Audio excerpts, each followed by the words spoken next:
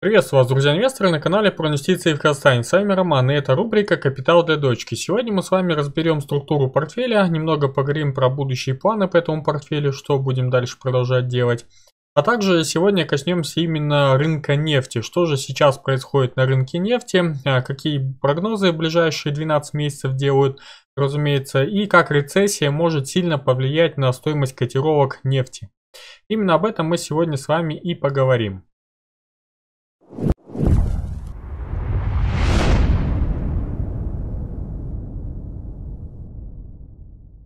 Ну, давайте начнем с рынка нефти. Разумеется, сейчас вы видите на графике, да, это вот пятидневный график, э, было резкое падение, но сейчас видим, что немного восстановились, тем не менее, все равно э, есть предпосылки к тому, что мы можем снижаться и дальше, но в то же время, например, аналитики JP Morgan предположили, что если США и Евросоюз установят предельные цены на российскую нефть, рыночная стоимость энергоресурса подскочит почти до 400 долларов за баррель.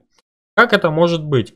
На самом деле все просто. Если предельные цены на российскую нефть опустят до 50% от ее рыночной стоимости, то Россия просто не будет ее продавать, а значит сократит объемы добычи вдвое.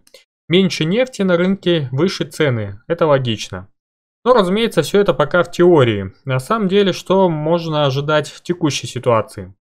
Уже сейчас, например, большую часть нефти РФ продает существенным дисконтом, который доходит до 40% от рыночных цен. Объемы экспорта бьют рекорды, но пока цены на нефть держатся на высоком уровне. Это устраивает всех и продавцов, и покупателей. Но всему же есть предел. На сегодня, например, себестоимость добычи одной бочки российского сырья на российских месторождениях составляет где-то 18-20 долларов за баррель. А, с учетом транспортных и логистических наценок себестоимость повышается до 32-35 долларов. А, значит, для обеспечения чистой прибыли а, Россию будет устраивать цена 60-70 долларов. А, за это уже с учетом скидки. Такая ценовая политика устраивает абсолютно всех. И нефть по 110 долларов и по 400 никак не повредит российской экономике. А вот что будет с мировой экономикой при нефти в 400 долларов за баррель, ну здесь, конечно, комментарии излишни.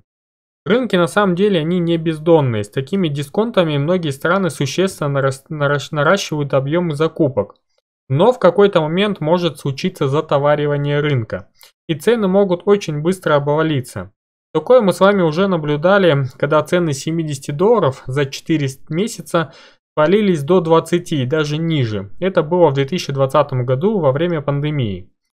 В принципе, нам, как инвесторам, нужно смотреть не на цену в 400 долларов, а на то, как это повлияет на мировой рынок активов, то есть в который мы с вами вкладываемся, и оценивать вторичные риски от таких макроэкономических процессов, внося коррективы свои стратегии. Но такого оптимизма по ценам по 400 долларов за баррель, грубо говоря, не э, расценивают э, в Citigroup. То есть они считают, что нефть может упасть до 65 долларов за баррель к концу декабря и последующее снижение до 45 долларов к концу 2023 года. Все это случится при условии начала рецессии в мировой экономике и сокращения спроса на сырьевые товары. То есть исторические данные показывают, что спрос на нефть становится отрицательным только во время худших глобальных рецессий. Но цены на нефть падают во время любой рецессии примерно до уровня предельной себестоимости. То есть также они говорят, что прогноз Сити основан на сценарии невмешательства ОПЕК+, в ситуацию на сырьевом рынке и принимает во внимание потенциальное снижение инвестиций в нефтяные ресурсы. То есть сейчас есть два сценария развития. Если будет рецессия в ближайшие 12 месяцев, то мы видим с вами глобальное снижение а, котировок нефти. Разумеется, и второй сценарий, если все же Россию будут дальше давить э, такими санкциями, то, скорее всего, они с таким большим дисконтом продавать нефть перестанут, и, соответственно, из-за дефицита нефти на рынке цена очень резко возрастет. Но это, конечно же, очень плохой сценарий для мировой экономики в целом. Что касается детского портфеля, то видим, что он опять подрастает. В принципе, уже третью, по-моему, неделю, да, мы подрастаем с вами потихонечку. Ну, конечно, несущественное, пополнение сюда пока еще не было, но тем не менее видим, что уже больше, чем 132 тысячи на данный момент. Хотя на самых плохих местах мы видели 120 тысяч по этому портфелю. Также свободные средства остались, 1278 э, тенге, пока их никуда не реализовал. Доллары также 65 долларов есть в копилке. Ну, будем в ближайшее время их куда-то тратить. Также посмотрим по бумагам. Здесь видим, что прибыль потихонечку уменьшается, ну, имеется в виду минус падает.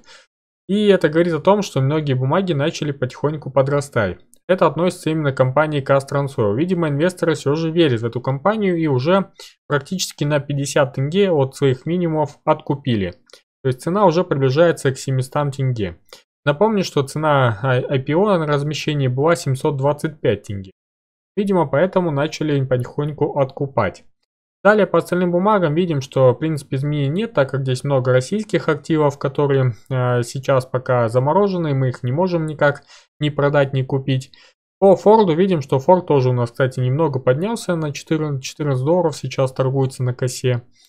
А по остальным бумагам, это которые на неторговом счете, информации пока не поступало, ждем, сам жду, поэтому А как только появится информация, обязательно вам сообщу. По диаграмме видим, что сейчас доллар занимает самую большую долю, то есть 23%.